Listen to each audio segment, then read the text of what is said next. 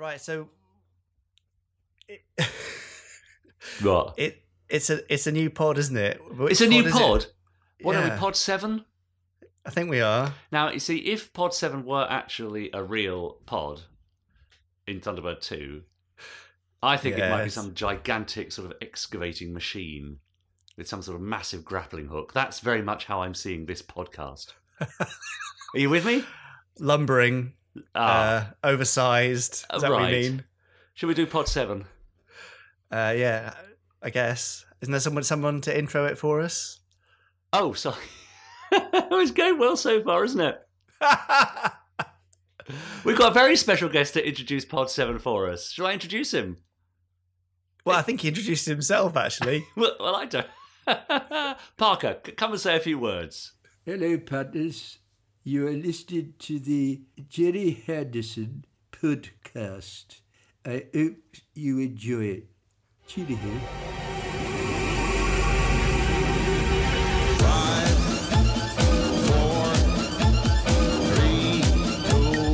One, one. Let's get started.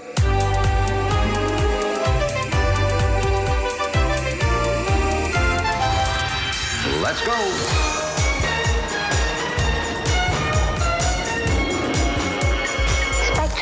Is green. The Gerry Anderson Podcast with Jamie Anderson and Richard James.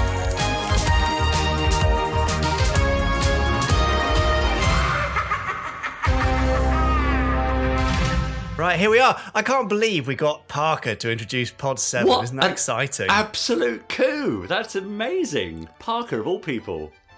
I know. Well, uh, he's introduced, introduced himself. Who are you? Well, um, you know, Jamie, very well that my name is Richard James.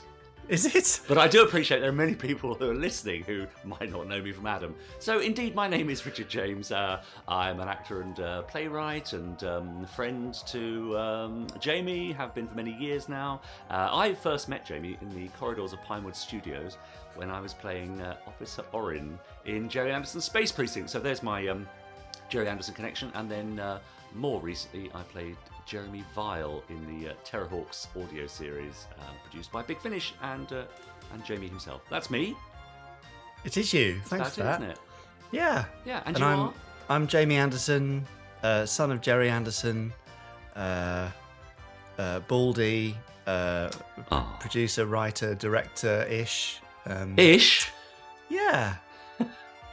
well, you know, I, I, I'm dab- dabbling. Well, I'm counting Uh, on you to provide me gainful employment for the rest of my career. So, uh, ish. All right, I'm working on it. I'm doing my very best. Now, of course, you can find us on Twitter. I am Richard N. James, and uh, Jamie is uh, I'm Jamie Anderson. I am Jamie Anderson. Uh, See, you have to explain that actually- every time. You have to explain that every time, and I thought it would be really simple and clever to be I'm Jamie Anderson on Twitter. Yes, but but you can't have the apostrophe, can you? Anyway, sorry. do Now. Lenscat got in touch with us via Twitter uh, after our last uh, um, uh, podcast and said, I can highly recommend the Gerry Anderson podcast. It has a great intro tune. Just that though. That's it. That's as good as it gets. And we've After had the that bit, so After the tune, yeah, you might as well switch off. Thanks, Lenscap.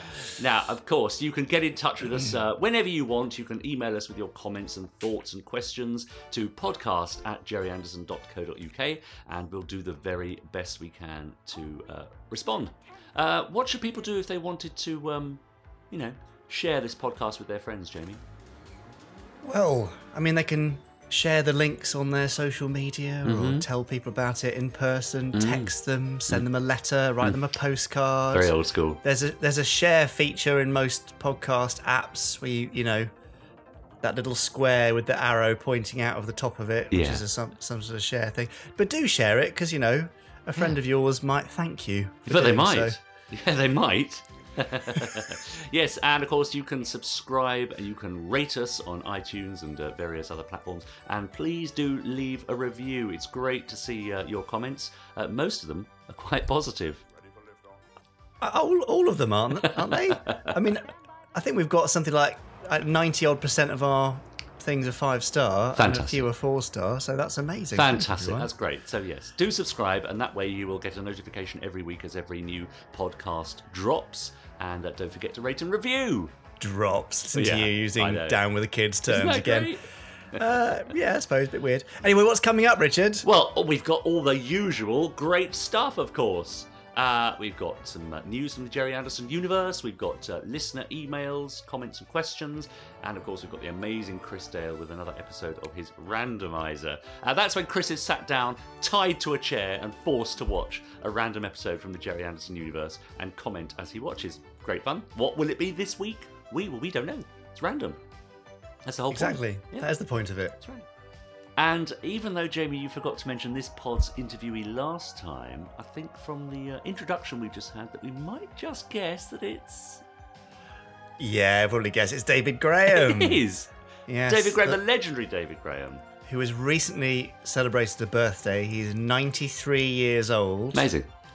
Uh, still working, still doing Peppa Pig, and still doing his classic voices. But best known in the Anderson universe for the voices of Gramps in Four Feather Falls, um, Parker and Gordon Tracy, and Brains in Thunderbirds. Loads and loads of other guest characters. Yeah. He, I mean, uh, Matthew Matic in Fireball XL5. Yeah.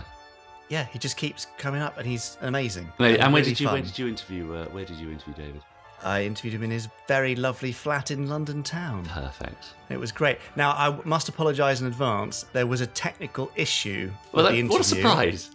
I know it was really sad actually. But it, so we we had this lovely, lovely chat about families and um, uh, stuff which I, I will fill in in the interview itself. Yeah. But uh, yeah, there's about seven minutes of interview up, up front which are missing. So I have to. I'm going to have to kind of fill in from memory. Great shame. Yeah. Uh, but we, it was sort of stuff we couldn't just repeat. No. Ah, uh, so apologies, things. everyone, but there, there's still a good sort of 40 minutes of David Graham Yeah. for, to enjoy. Great. Well, that's fantastic. I mean, that's you know, that's Gerry Anderson royalty right there, isn't it? And everyone I who ever met, I don't think I've ever met David myself, but everyone I know who's met him have said what a lovely gentleman he is. Always very happy to listen and talk, and uh, really enjoys being part of the uh, the Gerry Anderson world, which is lovely. Yeah. Well, he, he, he said it's, you know, he owes most of his career Hmm. to being involved with Anderson stuff. So, and, he, and a lovely chap he is. Mm, yeah, indeed. So Well, there we I mean, go, from David my Graham coming up. Yeah, it's just uh, you know, it's nice to finally have a professional to work with. Uh, so uh, Oh, thanks, Richard. Hi, Gordon Tracy speaking. It's time for the Gerry Anderson News.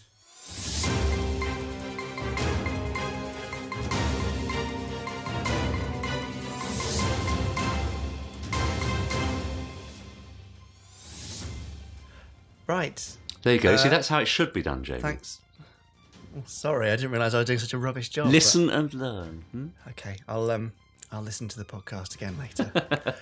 What news do we have, Jamie? Stop the podcast. Right. So, after Richard and I recorded this episode, uh, I was informed of some very good news, and that news is.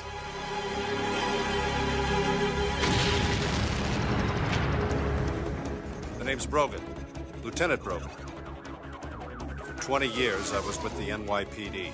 Now, well, let's just say I've transferred to another precinct. But Space Precinct, the complete DVD collection, is coming this November from Network Distributing. Uh, more details will be on the Gerry Anderson website, but it's the first time that the UK will have had a complete collection of Space Precinct. I'm very excited about it. We're putting in uh, a lot of extras as much as we can, a load of new photos, uh, some uh, behind the scenes tests, all sorts of stuff. But yes, for the first time, Space Precinct will, av- will be available as a complete collection on DVD. And uh, I'm very excited about it. And Rich will be very upset that he, he didn't get to comment on this straight away. So now back to the original Pod 7. Well, there is news, which is nice, isn't there? Um, to those who enjoyed Beyond Anderson episodes one and two, which are part of our mini YouTube series exploring the wider careers of famous Anderson names from the Gerry Anderson universe, like uh, Ed Bishop and Denise Bryer, there are two more episodes on the way Great.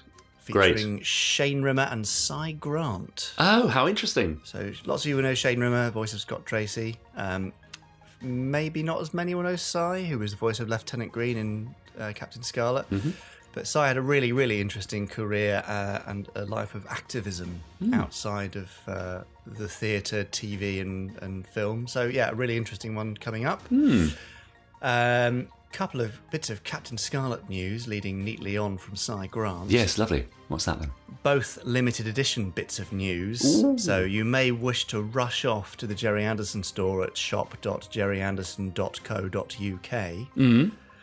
First up, uh, we may have discussed this before, but Network have released uh, the fourth volume of Classic Captain Scarlet in high definition, the Blu ray. And as part of that release, it's a brand new, beautiful box set featuring art cards and a poster and a comic, and it's a really, really lovely set. There are only 1,250 worldwide. Uh, Network had the first thousand available. They are pretty much sold out and may well be sold out by the time this goes out. Crumbs. But we have secured the last 250 copies of this exclusive box set. Oh, So if you want to grab it, go to the Gerry Anderson store and uh, yeah, I think they're going to fly pretty quick. Oh, of they're course they will, yeah. 25 quid or something for the right. this beautiful box set, including volume four of the Blu-ray. yeah. So go grab it. Lovely. Further news on Captain Scarlety limited edition things. Hmm?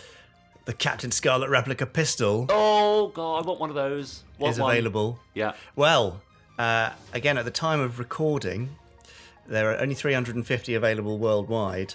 Uh, a couple in a, in, a, in a variety of colours. We did have a limited edition of uh, Captain Ochre's pistol and Captain Magenta's. They've both sold out already.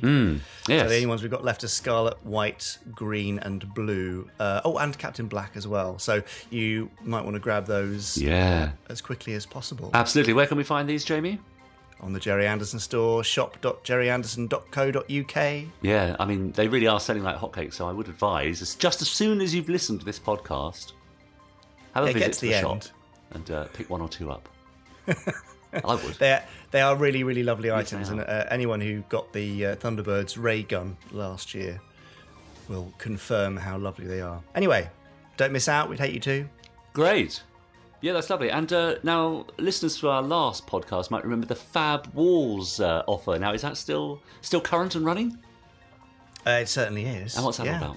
So if you go on the Gerry Anderson store and you want to buy any of our lovely wall adornments, better known as posters, Yeah, probably, yeah. um, just put in the code FABWALLS at checkout, F A B W A L L S, all in capitals, and you'll get 40% off of your posters. Hmm. Uh, quite a few of them have had their prices reduced recently as well. So Hmm. um, Amazing. that'll be it'll be even cheaper, Yeah, obviously. yeah. That's how discounts work, isn't it? Yeah, and they are beautiful, aren't they? They are beautiful indeed, and include Captain Scarlet if you really want to top up your Yeah. Captain Scarletness. Yeah. Uh, anyway, Richard, that's kind of enough of the newsy stuff. Is it? Yeah. So, have you got any news from your life? Any news from my life? Well, again, I'm still on tour. I've been on in uh, in Aylesbury this week, which has been rather nice. I've been able to commute because I live quite nearby.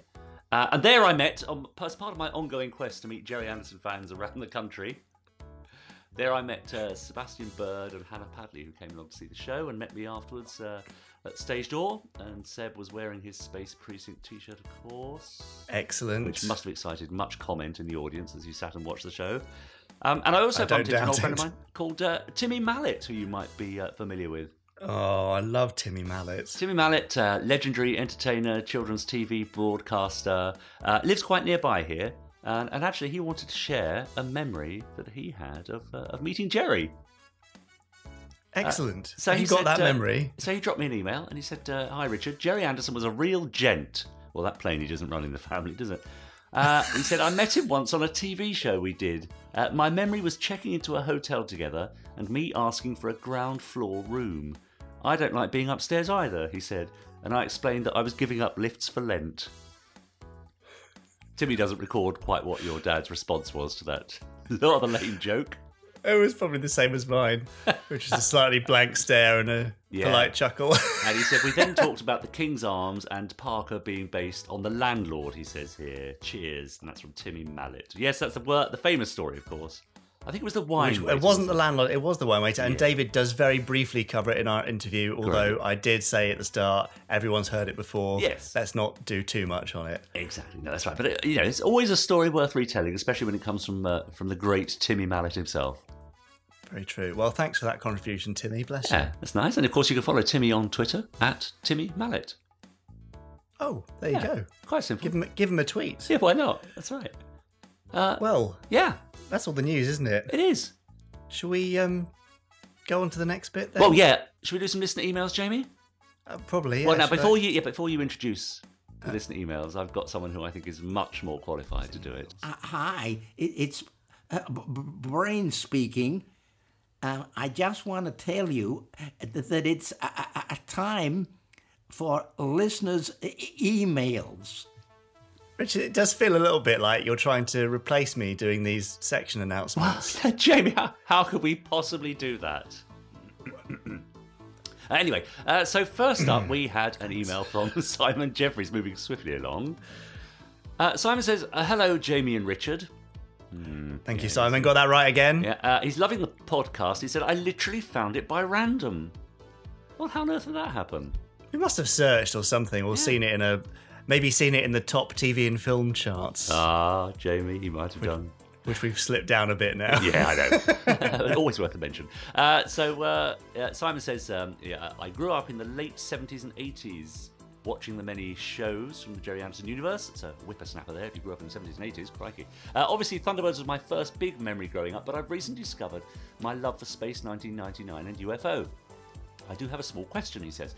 Did you or your father ever come across a Japanese puppet show called Starfleet? It was shown on ITV in the early 80s. At the time, I honestly thought it was a Gerry Anderson production. I know it wasn't. Uh, and I could have sworn there was a rumour that Anderson Productions at the time were thinking of joint production for Series 2, or was that wishful thinking? What do we think? Uh, Starfleet.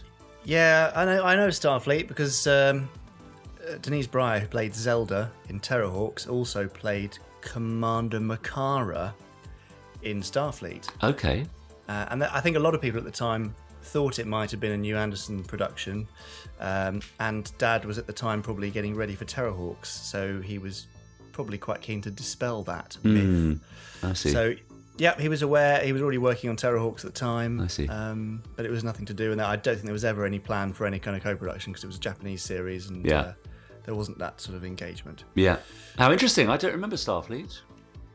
There's 1980s? A little bit of it on um, on YouTube. Yeah. I was It's watching quite things like cute. Battle of the Planets in the 80s. Do you remember Battle of the Planets?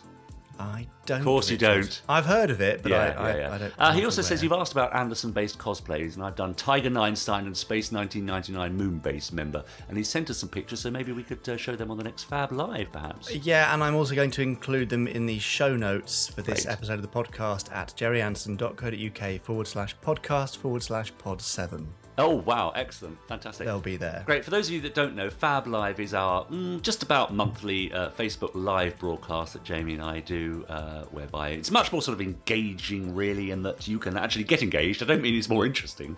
I just mean that uh, we can include your comments live as you watch, which is which is great fun. Uh, and finally, I have another tweet as well from Craig Walker. Who said he's still very much enjoying the Gerry Anderson podcast? Having expected to start hating them already. That's right. uh, he said it's great to hear the passion from Lee Sullivan and from Sophie Aldred in their interviews. Uh, keep the pods coming. So yes, you can listen to all these uh, past podcasts and uh, hear previous interviews uh, from uh, Lee Sullivan, uh, Sophia Myles, Sophie Aldred, uh, Gary Newman. Amazing. yeah. yeah, and more. and more to come. Exactly. Um, I've got an email Lovely. from Big Al. Oh yes.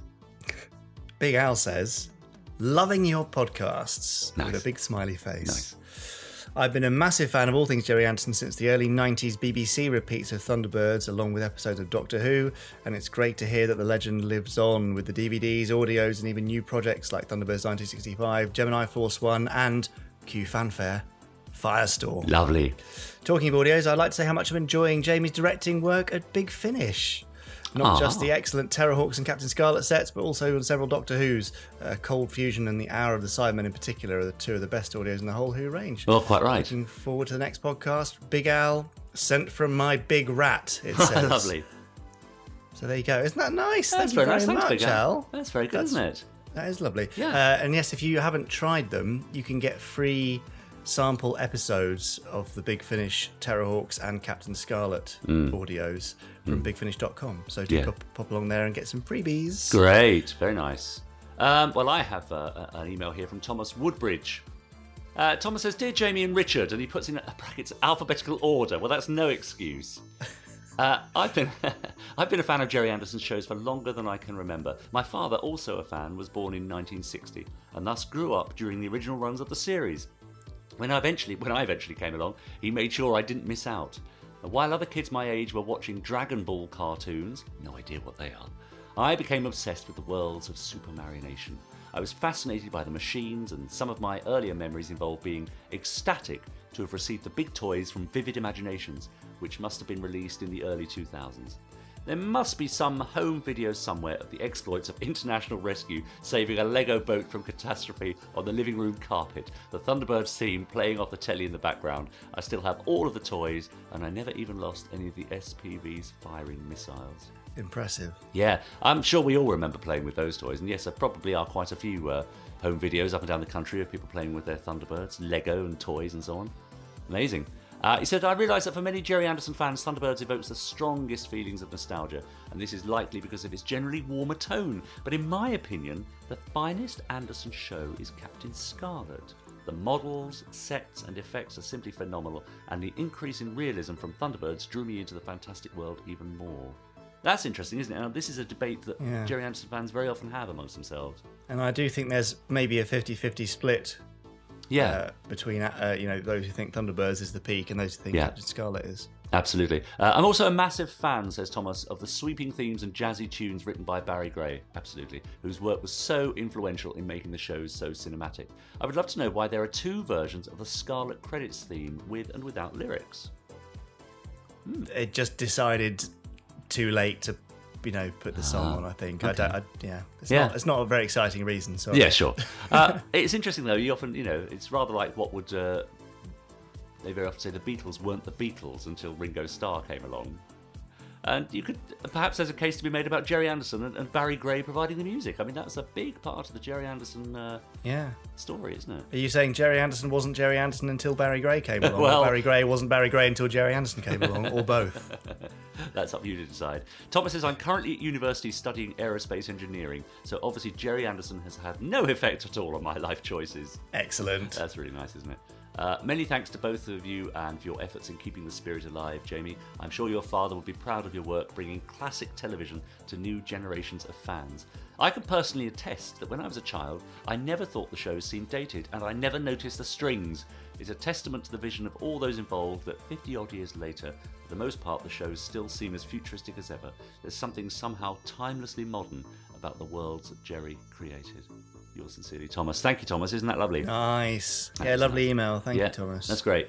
Yeah, I mean that covered all sorts of things. We we were asking previously about uh, people uh, who might have been inspired by Gerry's work in their choice of career or, or in their hobbies. Even I know lots of you out there do lots of. Uh, Wonderful videos and make your own vehicles and cosplay and so on, and we love to hear about it.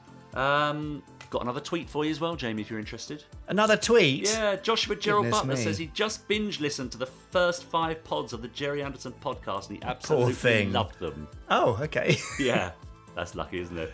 it is. Uh, the interview with Sophia Myles was absolutely incredible, and as an 18 year old who looks at the 2005 film through rose tinted spectacles, it was a joy to listen to her. Nice. Oh, that's great. Yeah. Well, that's sort of what we wanted to achieve. Yeah, Actually, is exactly. to That's you right. know little bit open open things up to those who actually did enjoy that film. Yeah, yeah, quite right too. So uh, thank you, Joshua, for that. Uh, now I do have a question for you, for you, Jamie. This is from Mark Wilson. Uh, now he again says, "Hi guys, I came across this podcast by chance. I, I just- don't understand how that might happen. Well, I mean, just I think it is just flicking through the charts, the categories, all that sort of Yeah. stuff, and go, hang on, Yeah. is that Thunderbird too? That's a Gerry Anderson podcast. True. Yeah, yeah.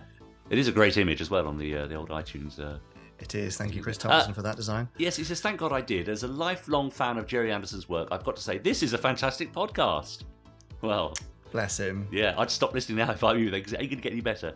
Uh, Yeah, I- downhill from here, Mark. I do have a question for you. Do you, Jamie, still possess or know who possesses all the original puppets and crafts used on the shows? I can imagine they're quite valuable now, sent from Mark. So, firstly, Jamie, do you still have any of the original puppets or crafts, or do you know where they are? Uh, well, Mark, no, I don't. Um, we had I had Penelope and Parker in my wardrobe when I was a kid, hanging in a plastic bin bag. Uh, which Dad auctioned off, I think, in 1998, maybe somewhere around then. The vast majority of the craft and puppets and sets all ended up in landfill Yes. and around Slough because at the time there wasn't really this kind of cult attitude around TV. They never thought it would be still going 50 years on. So it was just, well, that's done. We've got to make space.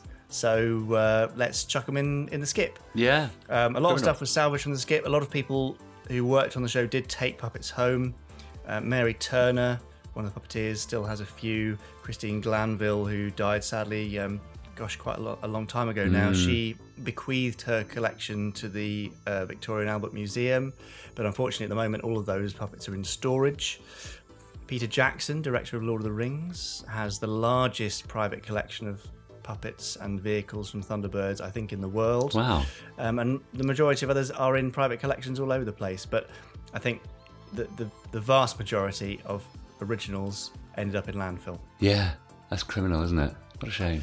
But as you say, they didn't think sad. about it. Didn't think we'd be all, all so interested in it 50 years later, did they? No, exactly. Home entertainment didn't exist, Yeah. uh, and they, you know, as far as they were concerned, they were being driven by Lew Grade, really, whose attitude was, "I need something new every year or two. Yeah. So if, if that's the kind of top-down feeling, we Yeah. need something new. What's the point in hanging on to all this stuff? Yeah. That's What a right. shame, though. There we are. Uh, interesting hearing you mention Christine Glanville there, who I think worked with Gerry way back in the early, early days. She did. She worked from Twizzle back in '57. And I remember her, of course, on the studio floor for uh, for Space Precinct, where she uh, did lots of animatronic operating. She did a lot of operating of Podly's face, did. didn't she? Yeah, I think that's incredible. I mean, Gerry was really quite, uh, well, loyal, but, you know, he liked to use people that he knew would get the job done and that, that he liked and got on with. Yeah. He liked to keep the, the sort of Anderson family together where Mm. possible. Of course, he never used me again, but. Uh, anyway, Well, yeah, but Richard, Yeah, come well, on, I have though, haven't I? I've used you. And that's That's that's, the, true. that's that's the same thing, sort of. That's nice. Um, got another tweet here. Uh, James Pilson Wood said he was listening to Pod 5 while giving blood. right. So uh, I thought, well, that would be interesting to know. Where's the strangest place you've listened to one of our Gerry Anderson podcasts? We'd really like to know. So do drop the strangest place you've ever listened to one of our podcasts to podcast at gerryanderson.co.uk and we'll read it out next time. Lots of people I know listen on the commute in their cars on the way to work and so on, and uh, on the tube and so on. So that's all very good. But where's the strangest place you've listened? Uh, if you have any other questions, comments, or thoughts that you'd like us to read out in Pod 8, uh, you can drop them to podcast at gerryanderson.co.uk uh, and uh, we'll try our best to answer it. In the meantime, don't forget to rate us, review us, and share this podcast so that And all your subscribe. Hmm? And subscribe. Oh, and subscribe. I knew there was one I was missing. There's so many things to do. I know, it's crazy. And that way, all your friends uh, can listen to, and uh, who knows, they might even like it. Uh, right. Is it the time of week for uh, a little interview, Jamie? It is, and it's not so little. Um, I, yeah, I, I chatted to David Graham, the lovely David Graham, for quite a while. And as I said at the start of this podcast, unfortunately, there was a technical issue, which means we lost about seven minutes of the interview overall, which I will do my best to fill in from memory. Yeah. Uh, but I covered all sorts of things in David's career, not just Anderson. Um, we tried to cover as much as possible, uh, and also as a, as a very happy and healthy 93 year old, I also asked him for some advice about uh, how to maximize one's happiness and longevity. Oh, lovely. Look forward to that. Yeah, but he's a, a lovely man. I hope you enjoy our little chat with David Graham. Uh, I'll give you a lovely introduction, but if you could, uh, I'll sum it up in one word. what's the word? Boring. No, David, not possible. I know, I know people are going to be desperate to hear this sort of stuff. But if you could give me a little, uh, I'm David Graham and I Yeah. have done these Anderson related things, that would be great. Just Yeah. a, a little nugget. Um, I'm David Graham, and I, I did a lot of work for the late and great uh, Gerry Anderson, who I met on a TV film called Martin Kane, and we got talking. And he said he was going to try and go into production making children's programs, and I said, "Well, I'm I'm not bad at accents," and and uh, the rest is history. yeah. And here we are. And here what- we are. When was that, Mar- Martin Kane? What year was that, do you think? I think it was in the 50s, 1950s. It was a pretty. He said, I remember meeting Gerry on it, and uh, he said, This is not a very good script, David, um, but I want you to run like hell across. It was down at Elstree, and I was playing a villain. So I managed to ca- take the curse off it uh, to the best of my ability. but it was a, a great meeting because from that, a lot of work, long relationship with Gerry ensued, which had a great effect on my career.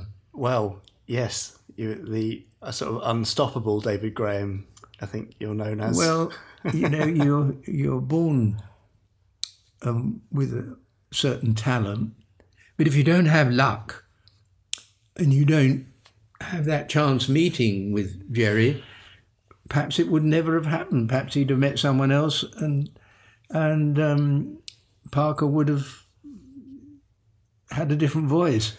But Can't imagine you, that, You need you need a, a bit of luck um, and then you take the opportunity. I mean, the, most of them, the things I've done, like in the theatre, you know, working in Laurence Olivier's company, which was fantastic, was because of a mention.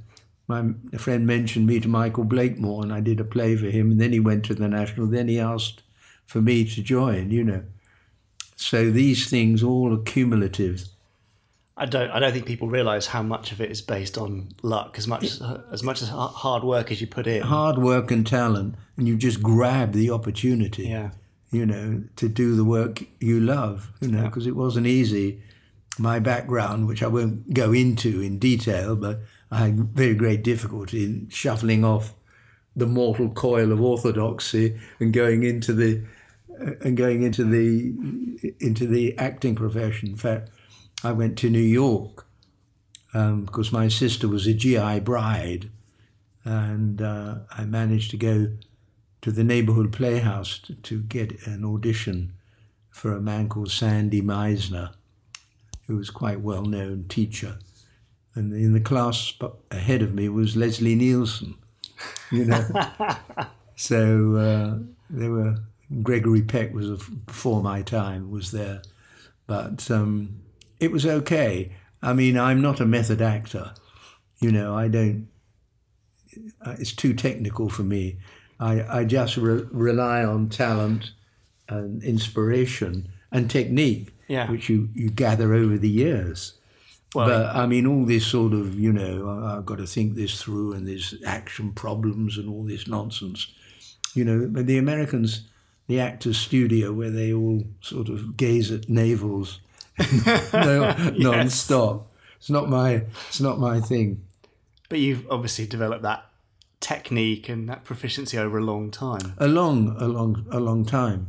You don't consciously do, but the more you work, you know, your discipline and and the stuff you do.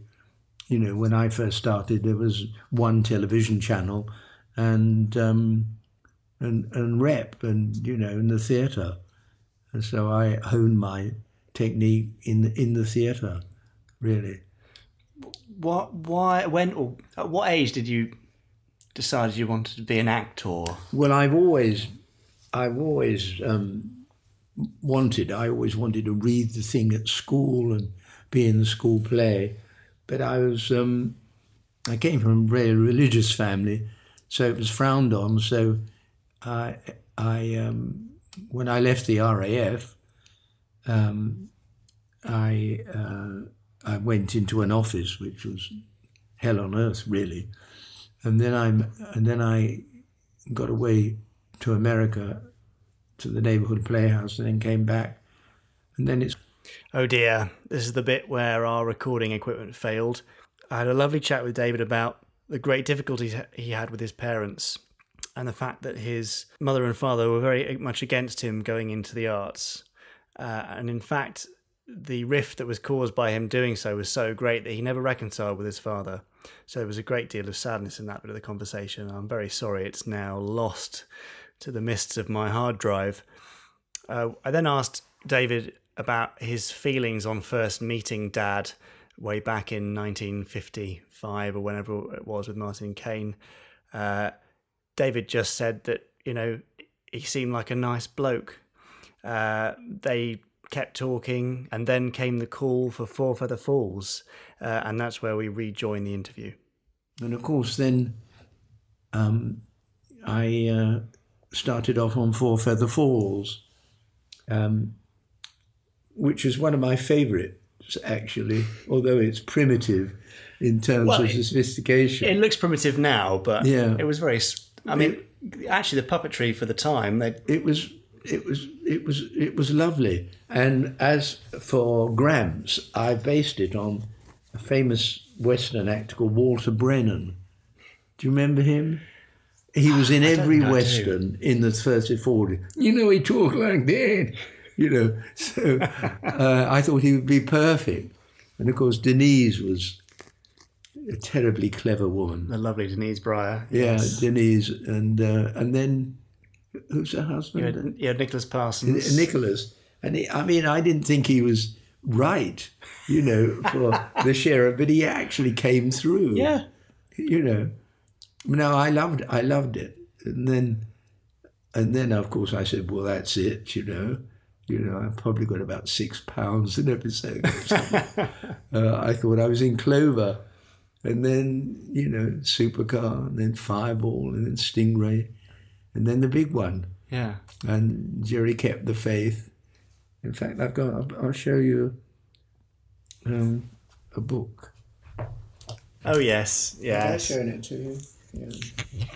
So So the dad's biography. yeah, which was lovely. Well, uh, for the benefit of, of the listeners, I'm going to say you've just given me a copy of Dad's biography, and there's a note inscribed in the front for David. Yeah. Thank you for all the voices on so many shows. Yeah. Brilliant. Love Gerry. Yeah, well, That's a lovely note, isn't it? yeah. no, we used to.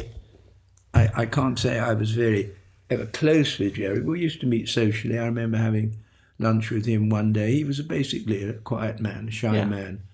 Um, and we went to Soho and had a nice and a nice lunch. But I know the regard he had for me, and it's one of the best things that ever happened to me in the profession. Um, apart from meeting the great Michael Blakemore, director, and who got me into the National, and working, doing a play with Olivier, you know. I mean, it was just amazing Yeah. to be on the stage with a great man. Yeah. Um, when you started on fire, uh, on Four Feather Falls, David, what was what was the process in terms of coming up with voices? Was it just you said, "I've got an idea for Gramps" Yeah. or whatever, and they just dad or whoever just said, "Yeah, run with it." yeah, yeah. I mean, the, I think we used to go to Birmingham, or I forget the name of the guy who originally did the voice the, recordings. But uh, before we went to Slough and it got sophisticated, no, I just came up for uh, with a voice, and then Ken Connor and I, Pedro and Fernando, the, the two gangsters, and of course all the way through, apart from the basic characters I did, uh, um, you know, um, I used to do a lot of the guest characters, like with Ray Barrett on Thunderbirds. We did we did a lot of guest characters. So there was always, you know, I was always sort of uh, sometimes playing three characters on on a page and switching. But you know, I have that facility of doing that. Is that fun to do? Yeah, it was great. you know, it was a challenge, but uh, we just left a little pause and went into uh, another mode. I've I've seen you doing it, and it's Yeah. it's very impressive. Yeah. But what what do you draw on to find all those voices? I- well, I mean, I was, I was, I always had a gift for mimicry. Now that doesn't equate with talent and ability to act, but um, I I just have a gift. You know, I hear a voice, and and then I can, and I can imitate it. You know. I mean, you know, I remember Roosevelt uh, at Pearl Harbor. He said, "You know, December 7th, 1941, a day that will live in infamy. You know, I just, I have this now. I know it's not exact, but that is the exact phrasing that Roosevelt had. Yeah. You know, and at school I used to do, we shall fight them on the beaches. We shall fight them. We shall never surrender. You know, I used to do Churchill. Uh, I can't do Theresa May, but uh, Oh, shame. no. um, Did, you, but, did you uh, do? Did you take the Mickey out of you know doing impressions of school teachers and that sort of thing when you were a kid? Um, no, it's too frightened. you were too well behaved. Yes. course. yeah. But uh, I, I just love um, being able to zero in on, on a voice. It, it's a gift. It doesn't make you a better actor. You know, uh, acting is a, a different compartment, but it's a gift which is, you know, it's been so useful to me. Um, you know, I, I, th- I mean, uh, I thank the fates that, that gifted me with a voice. Uh, I Yeah. don't thank him up there, but uh, But it's it's obviously provided pretty well for you yeah, over the years. it's been amazing. It's been amazing. Post Four Feather Falls, Hmm. you thought it was all over. Yeah. And then um, Supercar came up. Um, Dr. Beaker. Yeah. Um, uh, And yeah. did Dad just come come straight back to you and said, you know, because of, of all the people on Four Feather Falls, you're the only one to return for Yeah. Supercar. So you must, you must have had some special treatment, or you you know were the most impressive of the bunch, or something, David, or you were the uh, easiest to get along with, maybe. Yeah, I mean, I- I'm very easy to get along with because I'm totally committed uh, to the work, and um, and Gerry obviously saw something in me and my versatility, and um, you know he kept using me and using me, you know, so I was able to, you know, growing confidence, you know, and, you know, your talent, your talent flowers Yeah. when you're given an opportunity like Yeah. that. Was it was it a supportive atmosphere creatively? Did Oh, oh yeah, the, the the atmospheres were always lovely to work on. Um, you know, I can't I can't remember a lot of the people, but um, you know, later on Shane and Matt and and Denise and um, but there, so long as the atmosphere is friendly and relaxed, you know, you, you you can do your work. You know, that's very very important. I mean, Gerry, you know, would never say, "Oh no, that's ridiculous. That's not right." That's a, you know, he just let you expand. You know, he, he, he had faith in me, and I had faith in him. It's a nice, a nice little soundbite there. Yeah. a nice relationship to have. So, so you're you get onto Supercar. By that stage, is there? Do you get any sense of kind of impending success of these shows? Does it feel like things getting bigger? Well, I remember Gerry when he went to see Lew Grade, and uh, and he had this idea for something, and uh, and he said he went into the office, and Lew Grade took a cigar and says, "Make thirteen, make 13. And Gerry went out of the office in a kind of daze, you know. And uh, well, Lew Grade, he was a great showman, and he knew a winner when he saw it Yeah, you know, and um, yeah, and then it went on and on and on till the the amazing uh, Thunderbirds. yeah. Um, And you know, uh, I don't know uh, if Gerry, if I was the first choice for Parker or not, but but you know, there's this uh, uh, story I've told ad infinitum. I don't know the one you mean, yeah, David. taking me to lunch at this uh, pub in Cookham with the um, with the wine waiter. Would you like to see the wine list? sir?" You know, so that was the birth of Parker. Yeah, was it? I mean, you you tweaked him a fair bit from Arthur's Oh yeah, voice. I I sort of with the H's and aspirates and Yeah. no, I sort of revved him up, yeah, uh, and uh, but but the seed of the voice was there. It was Dear Arthur. A lot of stuff was born. They, uh, um, I think that my mum Mary worked at the King's Arms. Oh really? Yeah, in the early seventies. Was it called I these. King's Arms? It still is now. Yeah. Okay. Um, Is there a plaque up to you, do you know there isn't? I can't believe it. I went in there at the end of last year, Yeah. and we said to a kid behind the bar. I say kid. I mean, that, Yeah. he was probably I don't know nineteen or twenty. And we said, "Have you heard of Thunderbirds?" And he went, "Yeah, I think so." Uh, the puppet thing, yeah. And I, we told him the story about Parker, and uh, that none of them had any clue. But he, he was sufficiently excited by it that he came round for, a- for you know for a photo. Yeah. but Well, there it's should a be a plaque there. it's a long time ago.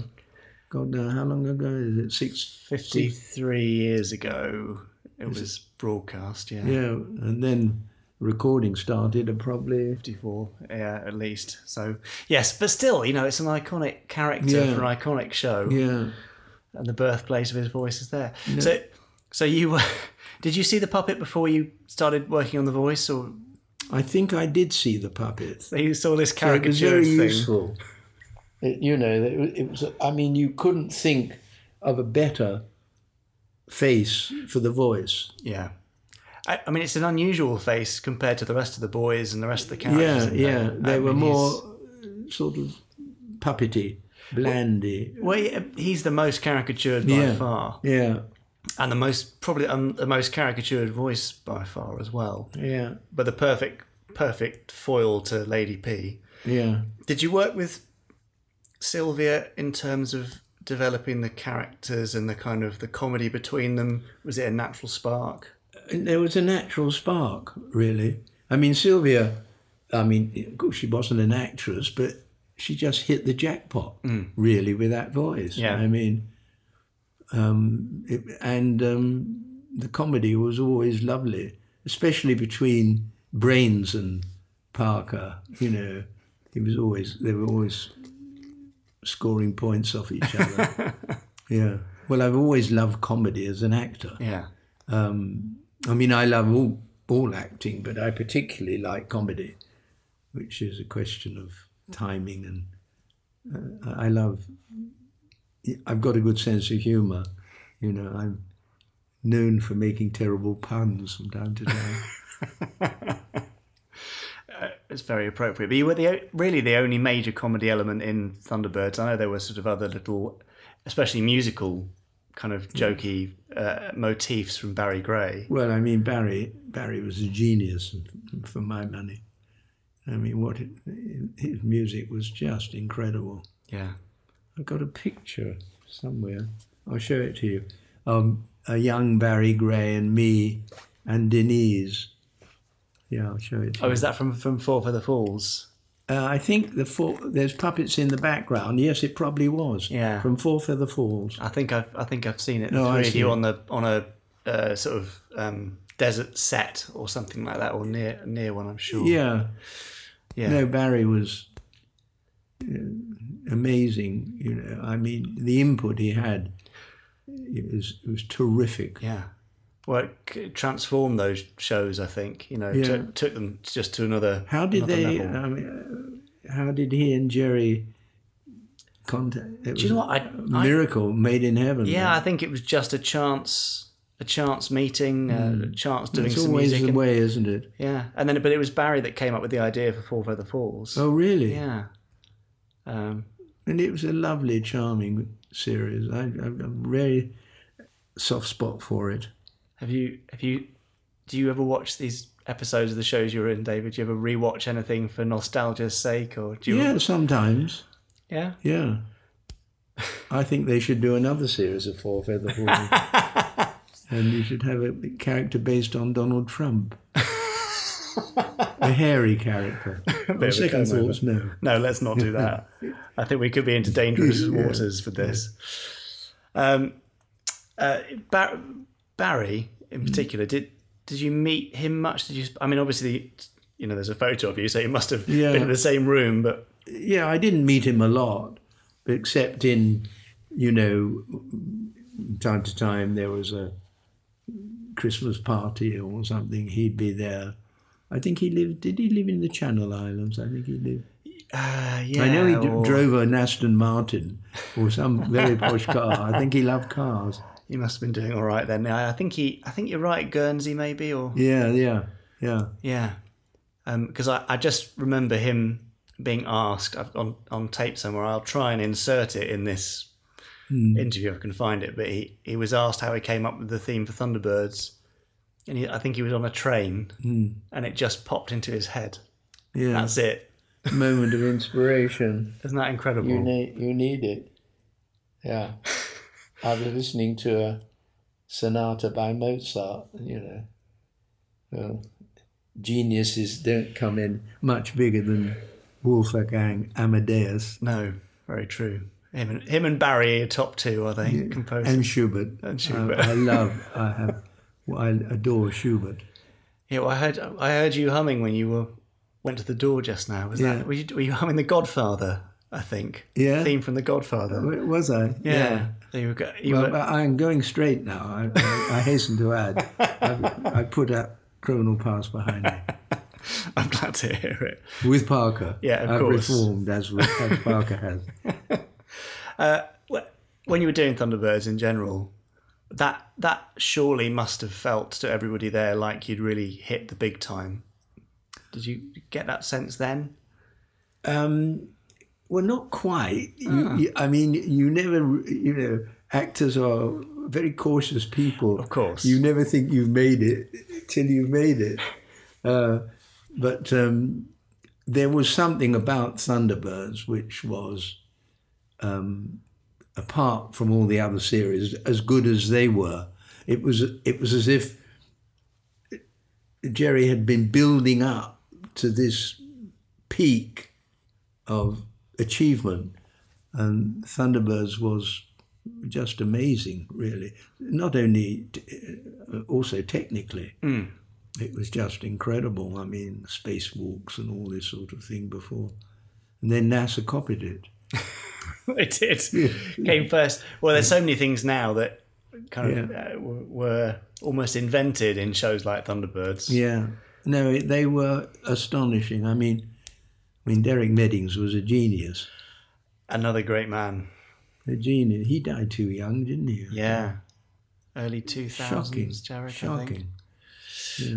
Yeah, very, very sad. Yeah. Um, and what about the um, the group of people you were working with doing the voices, David? Was No, and Shane and, and Matt and, and Peter Dyneley. I mean, that unique voice. Yeah. I mean, it, I mean, it just five, four, three, two, one. I mean, they've even got it in the new series. yeah, Because it was definitive, absolutely. and um, and of course he was taken from us. He wasn't even sixty. It, it's shocking. I mean, life's a lottery in so many ways. You hope for the best, but um, what, what, what can you do? You you lead as healthy a life as possible, and and what is to be is to be. You know. I mean, I hope I go on a bit longer. Well, you're a remarkable Nick, David. What's Yeah. what's your what are your secrets for? This? Well, uh, as I said before, no smoking. I don't drink. I gave up meat about forty years ago. Uh, I eat. I eat fish. I exercise. Um, you can only do so much, and then you never know um, where the gr- when the grim reaper's going to strike. It's it's true. It's true. You're also very good at not indulging, aren't you? I've been to a few uh, recordings with you where everybody's snacking on donuts in the afternoon. No, and you're I'm- very good at saying no, thank you. no, I don't. I don't eat um, rich foods at all. Never. Well, No, hardly ever.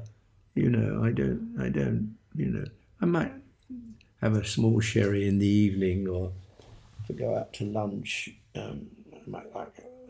I'll have a Peroni or a glass of wine, but I don't overindulge because I think if you want to go on, you know, why abuse your body? I mean, you know, you have to make choices.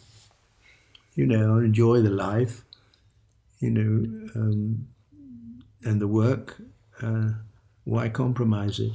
Well, it's clearly served you very well.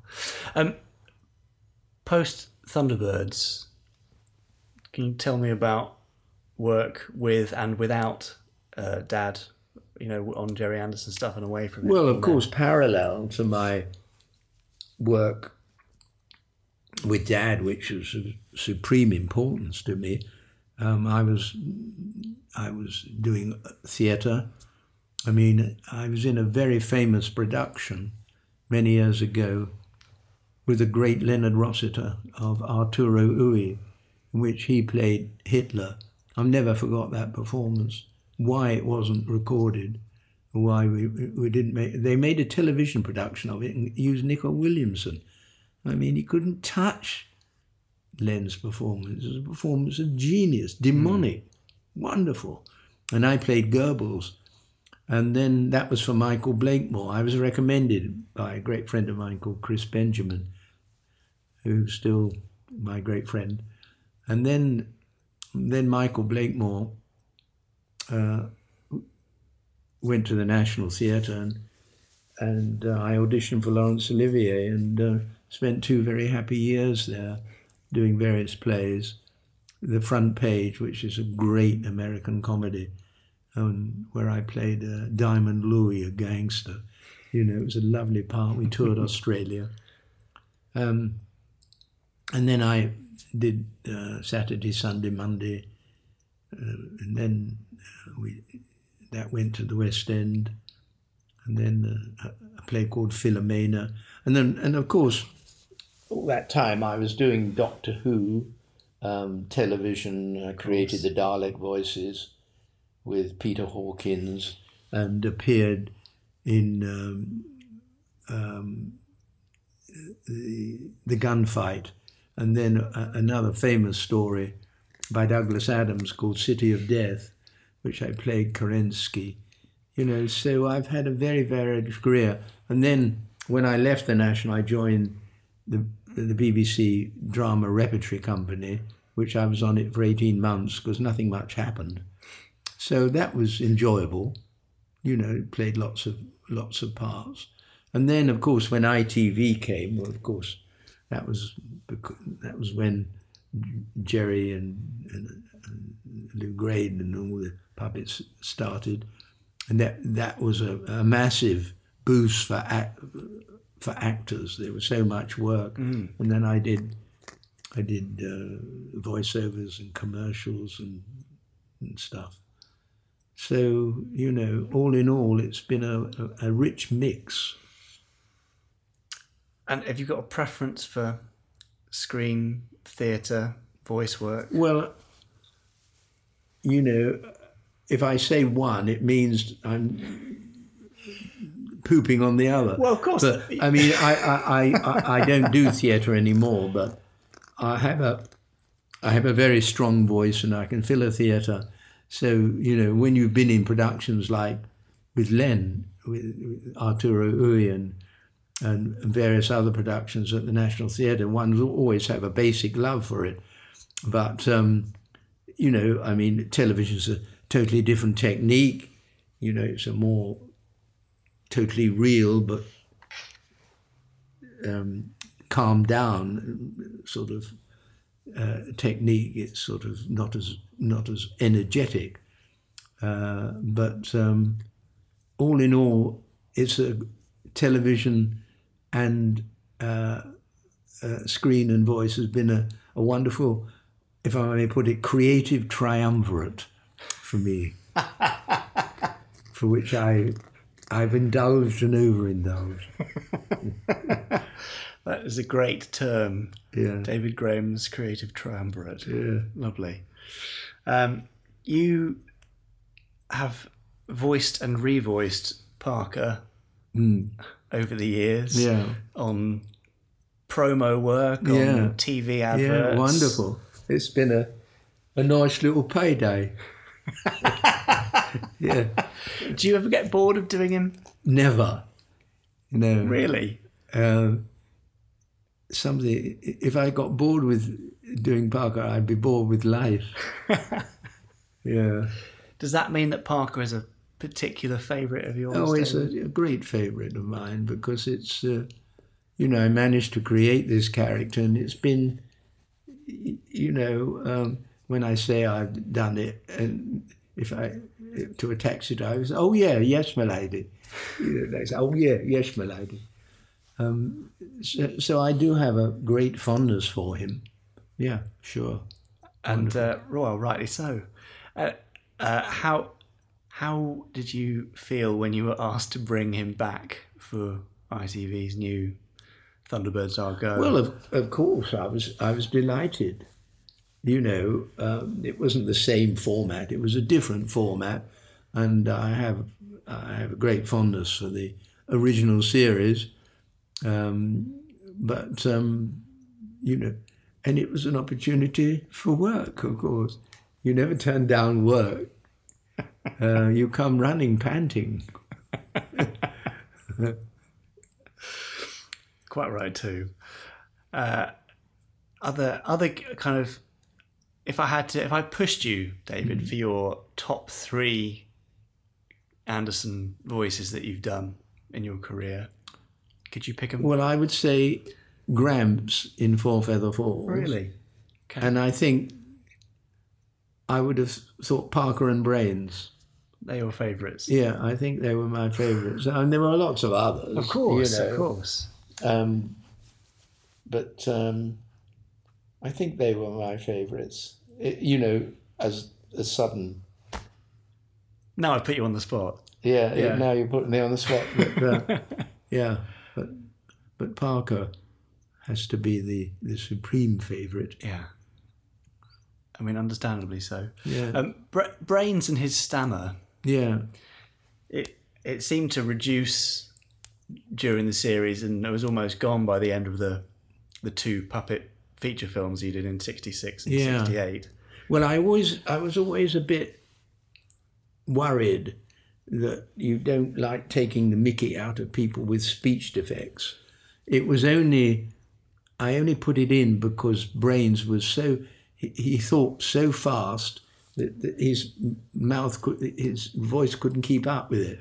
Yeah. So that was the justification, not that I was trying to take the Mickey out Of course, of course. you know. So, uh, oh, I, you you noticed it was decreased the, in effect. It's it's Well, been, I didn't want to mentioned. do, you know, I didn't want to bang on too much about it.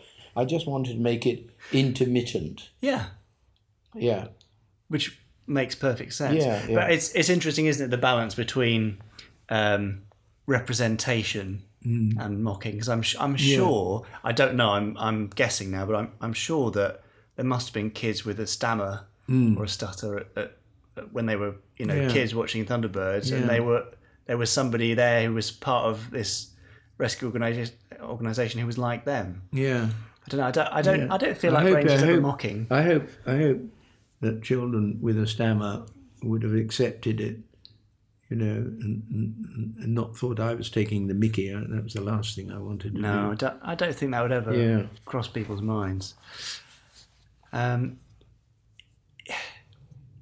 bearing in mind that you've been involved with so many of Dad's shows over such a long time, and the, and now in, in ITV's rebirth of Thunderbirds, looking back across those years, can you identify any elements that you think are essential to the, the ongoing success of those shows? Because there are plenty of shows from that era that aren't rewatched now that don't have the same kind of timeless appeal. Yeah. Um, it's difficult. I mean, Thunderbirds had something unique. It had w- wonderful scripts, wonderful characters, wonderful special effects, um, which were way ahead of their time. I mean, when you think, I don't know, you, you, you correct me if I'm wrong, an episode cost what, 100,000 quid or, or uh, very, very expensive. I mean, they're very. I mean, I think it, it's the equivalent now of maybe two two million pounds an episode. yeah, I mean, which it's fan- fantastic. But look at the quality. Look at Oh, the, yeah. Look at the quality of the special effects. I mean, on the dialogue, the characters, the sets were just amazing, and I think that's why it's had uh, an enduring appeal, and that's why it's it's had a, a matchless reputation for children's shows. I think, you know. So for you, the visuals are the the main thing. Yeah. I, th- I think also the voices are a major part. You know. Yeah. Oh, yeah. Because I, I, I listen, well, I watch a fair amount of kids TV now, Hmm. just you know, to see what's going on. And uh, there aren't as many really strong voices around now. I Yeah. don't think. That sounds a bit scathing of, of uh, modern Yeah. voice actors. That- That's certainly not the true, not true across the board. But there was something Yeah. about that era, Yeah. BBC Rep, and uh, actors coming over from the US and Canada. Yeah. I, I, I don't know what it is about that vocal quality, but there's Yeah. something special. Uh, you you uh, made a return to an Anderson show recently for me on audio.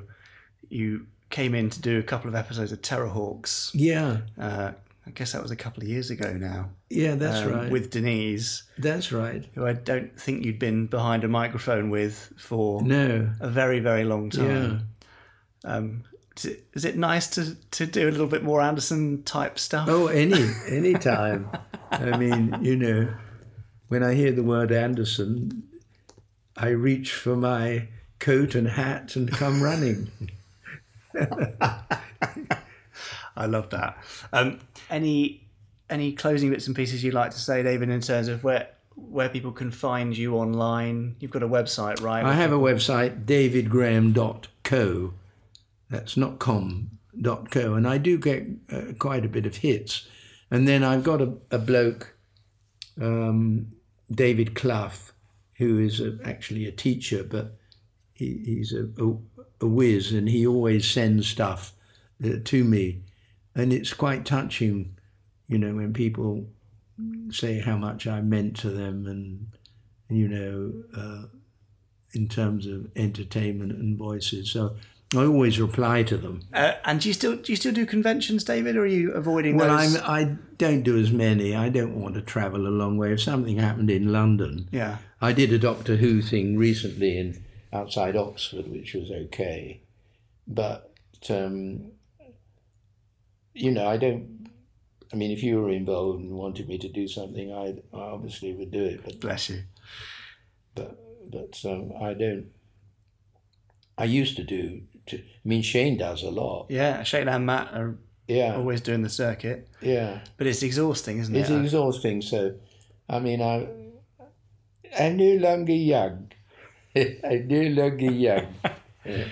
So Yeah, well, you've still got a, a youthful energy to you, Yeah. David. So, um, that's brilliant. Thank you very much. Aw. Isn't Lovely. David lovely? Yeah, that was really sweet. It sweet. was so, so great. I should add, though, you know, even the loveliest people aren't always that lovely because I Oh. got in Yeah. on a on a quite a hot hot day. I was quite parched, and I sat down, and he and he said, "Well, I would offer you a cup of tea, but I've got no milk." oh, So, wow. and that was it. So, very very Who would dry. have thought? on David interview Graham. there. That's a, that's a national scandal. That is a scandal, isn't it? I was hoping he was going to bring out the big silver Lady Penelope teapot, but unfortunately, it didn't happen. would be great. Anyway, it, he was so nice, and Yeah. um, you know, Still uh, working. Amazing. still working, and still loves it. Yeah. That's the thing. And it, uh, you know, quite a few times during and after the interview, we started talking about music and all sorts of stuff, and he's just so interested in life Yeah. in the arts. He he absolutely adores music in particular. Yeah. And uh, yeah, it's just so nice to. Was he into a bit of drum and somebody- bass, bit of grime? Absolutely, yeah, Yeah. yeah, He, in fact, he uh, bizarrely he's the world's biggest fan of N-Dubz, if you remember them. Very strange. No, I, I, he, he's obviously not. but uh, no, he, he- it's just great, and I, I hope that when we are ninety three, Well, Uh, which is quite nearby for one of us, yes. Well, exactly. that we are still so full of life and so excited about because that I think is part of the reason why he remains so youthful in so Yeah. many ways. Yeah, absolutely. Anyway, what a yeah. great chat. Wouldn't Thank you? David. Yeah, that's great. Yeah. Uh, there's lots and lots more uh, in terms of interviews coming. Um, Hmm. I haven't decided which interview I'm going to play out next week. Oh, So- you're teasing us. Well, I'm not really teasing it. It's just that uh, I've got a few that are really interesting. Yeah. Some are more sort of time appropriate than others. Yeah. Uh, so yeah, do subscribe. Yeah. Otherwise, you you could miss out on next week's mystery interview. Yeah. Eight. Yeah, that's great. We did get a, a tweet actually from Sarah who said um, after you had uh, broadcast the, the Gary Numan um, interview in the last pod, she said, My all time favourite TV shows and all time favourite musician in the same place. Oh, great. Nice, isn't it? There you go. Well, that's sort of what I was hoping for. Yeah. Is that there'd be people who love both. That's right. who or you know people who love Gary stuff and had a an enjoyment or an awareness of Anderson shows and Yeah. get brought in that way. Yeah. Or people who go, "Who's this Gary Numan bloke?" And they go Absolutely. listen to his stuff and go, "Oh, he's great." Yeah, yeah, he is great. Yeah. Yeah. We've been very lucky having these lovely people to interview. I think. Amazing. Yes. Yeah. There's so much goodwill out there for, uh, well, not for me, but uh, for, for, for Gerry and his legacy and, and the you know fantastic shows that he made. It's, it's really Yeah. nice. Well, long may that continue. Absolutely. So don't forget, you can subscribe, rate, and review, uh, and then uh, you will get to know when each new podcast uh, is uh, published. And uh, do mention us on Twitter, hashtag Gerry Anderson Podcast. Uh, I'm on Twitter, Richard N. James, and uh, Jamie is I'm Jamie Anderson. I'm not going to Yes. explain it. I am Yeah, Jamie. you did it. You see? I can't help it now because pe- because yeah, people do go, "What? I am Jamie Anderson." Yes. No, I'm. It's short the contraction of I am. No, I'm Jamie Anderson. Oh dear, I know. It's, what what a mistake that was. Yeah, no. um, anyway, look, it's time for the randomizer. Oh, good. Um, and unfortunately, we didn't have a uh, David Graham character to introduce this, so No. you're stuck with. Yeah. Well, it's me and doing it, or you. Do you want to do it? No, you do it. Right. Oh, well, are, you gonna, are you going to do it? Are you going to do a David Graham character? That's what I'm no, hoping. Oh. I can't do any voices. No. unfortunately. Yeah, So um, yeah. All right. there we go. No, but now it is time for Chris Dale and the randomizer.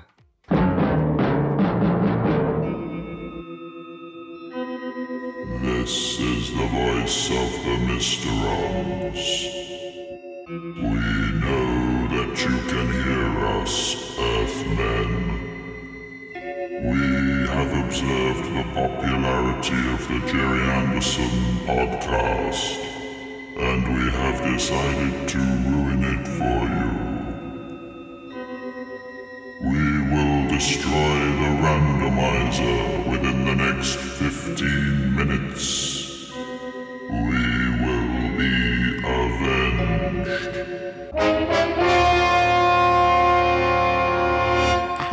joke's on you. The randomizer's already broken anyway. What the? No! Hello, Captain Black, and hello to all of you listening today. Yes, unfortunately, the randomizer has broken down yet again, but it did manage to select an episode for us before it went down. No time for an introduction today because it landed on one of my absolute favourite episodes, our very first non puppet episode. It's New Captain Scarlet Grey Skulls. Well, I certainly wasn't expecting to be here quite so soon. This is uh, the very last episode of New Captain Scarlet Grey Skulls, and I've I just adore this episode right up front. I've got to say that. And I loved this show. I loved it from the first episode. Looking back at it now, much like with Terrahawks, the first episodes are not perfect by any stretch of the imagination. It just built and built, developed and improved, and by the end, it was. I'm looking at this and it's so far away from the slightly cartoony CGI of the the opening two episodes. And even today, it still it still stands up. I think not the whole series, but certainly some of these last few episodes. There are occasionally glitches and uh, technical goofs, but I can't remember anything in this episode that uh, that isn't an utter joy. I mean, look at this alleyway set. These these barrels there, the, there they go. Um, this the street set, these buildings, the texture on the clothes. It may be that I'm watching this on uh, Blu-ray and that's giving it a boost, but uh, I think it's it's uh, an episode that really showcases the talents of the team that were working on this show. Oh, there goes Brock's bike. You just know that Captain Blue was driving that day. Any any wanton, unnecessary destruction of public property, that's always Captain Blue. which I kind of like. I do enjoy the uh, bull in a china shop characterization of the new Captain Blue. I can never understand how Ochre doesn't actually see Colt when she when she arrives outside the warehouse. She looks directly at him. She can see that the uh, rhino doors are wide open, and she still just takes off. I would probably put that down to uh, an animation goof rather than a, an error on her part because I love Captain Ochre. I don't think she would make that error. She's made enough mistakes in this episode already by leaving her motorbike unlocked. Three weeks we've been on the trail of those stolen alien spores. I should really uh, address the main issue, well, not issue, uh, highlight of this episode, which is the starring role given to Captain Ochre. Now, in the original series, I, as a kid watching Captain Scarlet on the BBC, Captain Ochre was my favourite character, and even at the time, I couldn't tell you why because he very rarely did anything. Uh, he got smashed on Mr. and I champagne and accidentally blew up a naval base. That seemed to be about the highlight of his contribution to the show. So when when the CGI show started and there was all this talk of Lieutenant Green is going to be a woman now, and there was a rumor that Captain Ochre would also also switch genders, but she didn't appear until I think the the 13th episode. The show in the first half seemed to almost completely forget that there were other captains besides Scarlet and Blue. I think there are even some episodes in that first half where even Blue doesn't appear. And it it's always seemed a bit of a shame, even though the show is called Captain Scarlet, that the focus was always solely on him. You look at the original series, what do Ochre, Grey, and Magenta do all day? Um, obviously, we know Magenta is uh, is getting into all sorts of uh, mischief and shenanigans, knocking himself out with doors and things. But uh, what are the others actually doing? These are all qualified, talented people, all experts in their chosen fields, and they're just kind of left behind while Scarlet and Blue are kicked off yet again to to save the day. Whereas in the new show, I think Captain Ochre is hugely important to this show, even though she arrived very late on. Uh, even though obviously we have the Angels who had some stories, some focus on them. Even though we have Lieutenant Green as a woman now, who had some focus and some stories on her. It's so important that she is a captain, that we have a woman out there in the field with the boys, the equal of the boys. She doesn't need to defer to them. She is, as we see in this episode, she is thoroughly capable of handling a mission on her own. And I love what Julia Brahms brought to this character. I love the slightly sardonic. The Irish uh, tone is a lovely touch, but she is just such a nice character, and it's it's amazing to to think the final episode of the show. It's just the Captain Ochre show. It's like you know, forget those other guys. We've got a woman here who can just get the job done, who can kick some Mysteron butt, and uh, and it's just fabulous. And this scene is just a perfect summing up of the character. What do you know? A spaceship really did crash here. Which world did you come from? Planet Stupid or Planet Ugly? Okay, it's a terrible line. It's an absolutely terrible line. She probably knows that it's terrible because just she was looking for this fight and she's got it and she is enjoying every second of it. And so are we. This shot of her kicking the guy through the window is so cool. I apologise if I'm coming off like a uh, a uh, squeeing fanboy, but uh, if there was a Captain Ochre fan club, oh boy, I would be like the the first one to sign up. I absolutely love this uh, this music, by the way. This uh, Crispin Merrell piece here, which is uh, thankfully on the soundtrack CD that was released not too long ago. It's one of the absolute highlights of that. Now here we have an interesting situation because uh, Ochre has now tracked down Colt, who has uh, stolen her raid bike, and Colonel White was very cross, said she had to get it back at all costs. Um, she is now driven out there in her little cheetah car, and um, given that the Colonel was so angry with her for losing the bike, it's amazing that she is now about to lose the car, and he doesn't question it. Oh, but I love that shot though. That is a glorious explosion. The the explosions in the CGI show were not always 100% convincing, but that one is really good. And what sells it is the way that Ochre instantly throws herself to the floor and then she's back up almost as soon as she's landed. Neptune. If only we had some idea where Rimmer plans on setting off that bug bomb.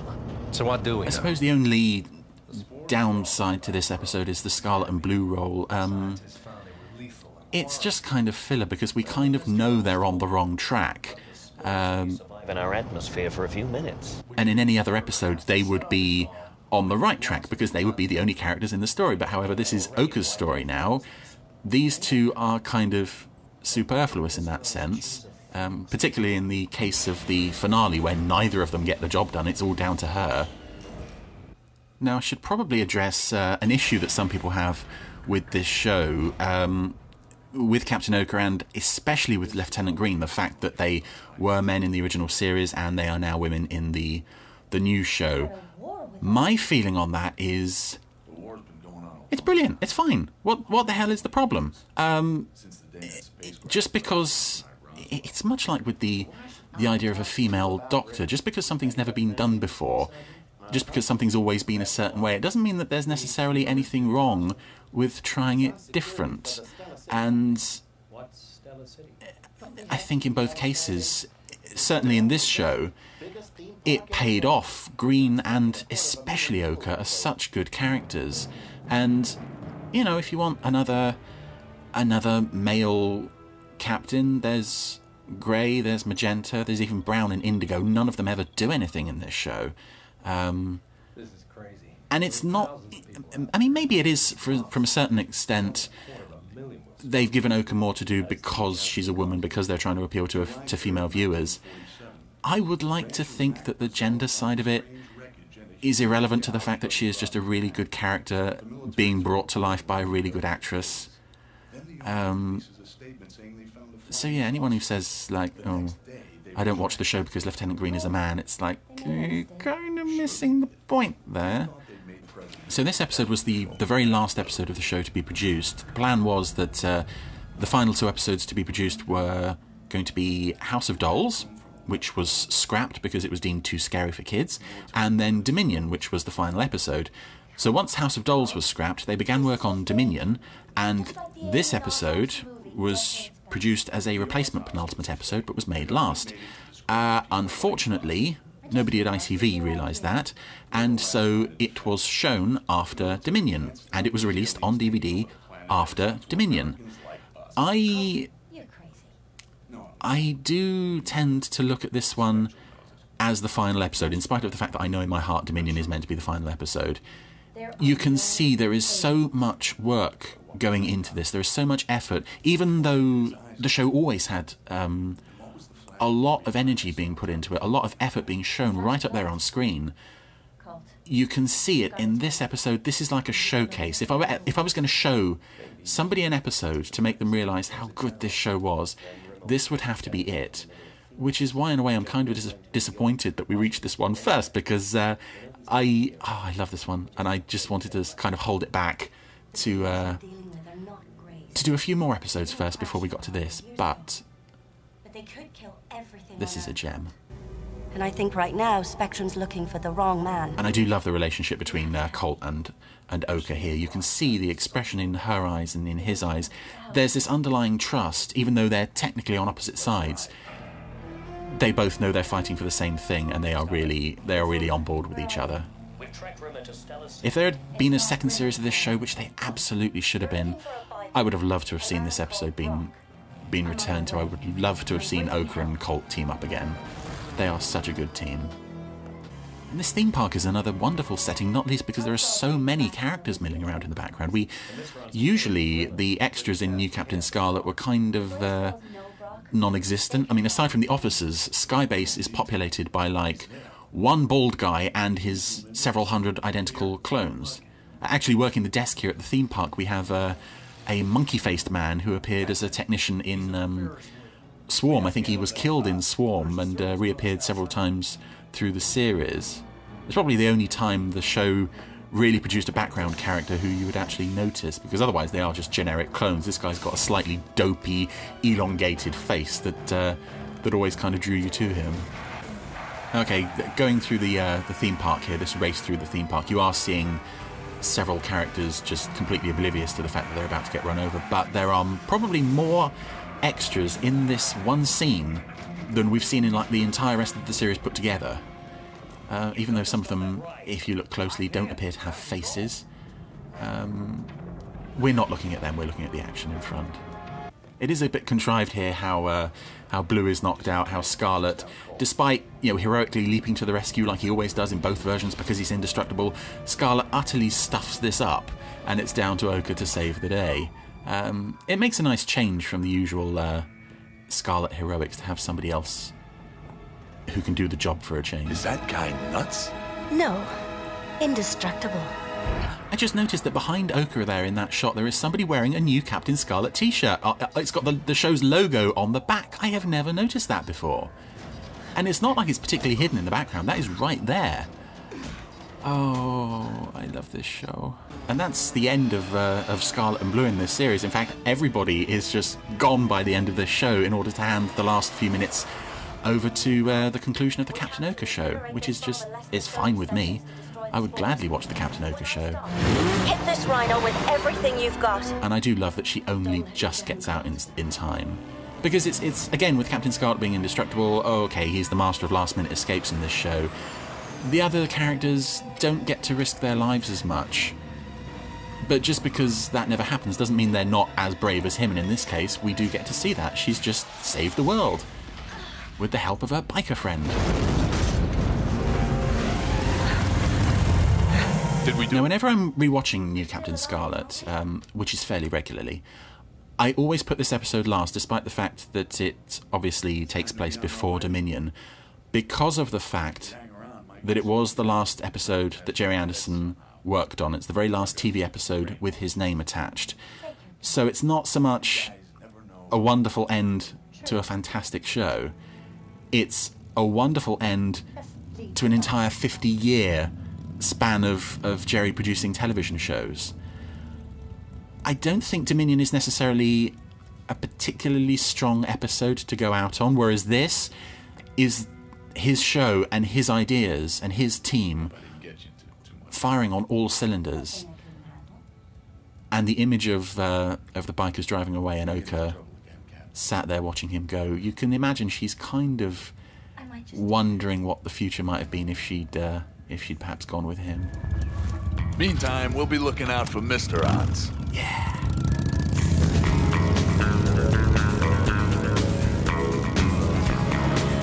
Well, that was as perfect as I remember it. That episode has never disappointed me. I can't imagine it ever will.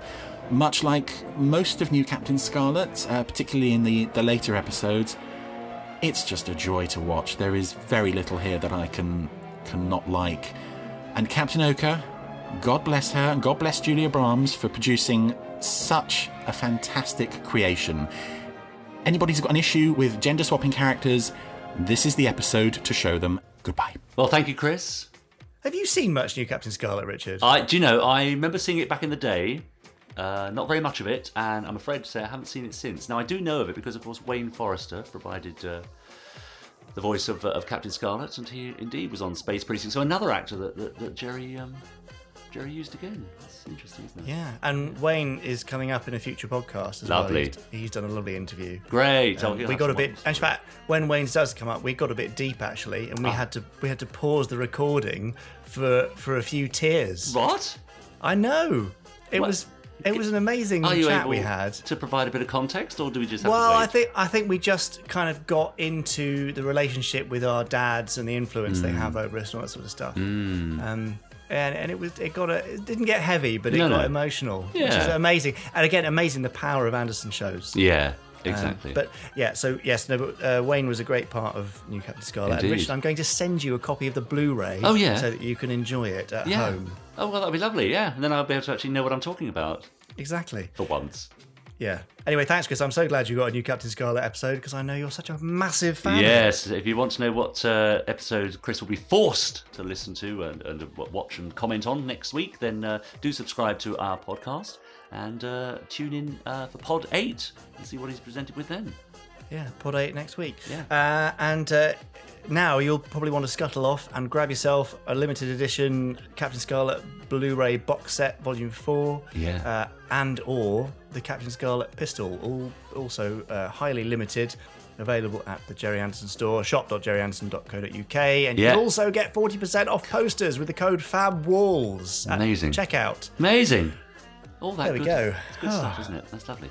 Yeah, and please do get in touch for the next podcast on uh, podcast at gerryanderson.co.uk with your comments, questions, thoughts. Keep tweeting us because we love to uh, hear from you, and I'll read out a few tweets next time as well. Yeah, the tweets are great. Yeah, aren't they? Thank you. Yeah, lovely. Uh, so until Pod 8, Yeah. we should probably go and get on with our jobs. We should really, shouldn't we? yeah, go and earn a living. Yeah. Yeah, All right. let's do that. See you next time. Bye.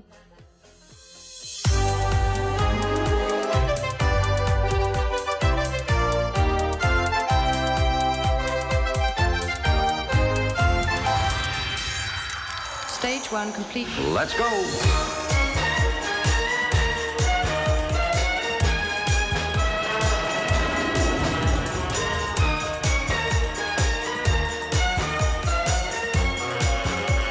Spectrum is green.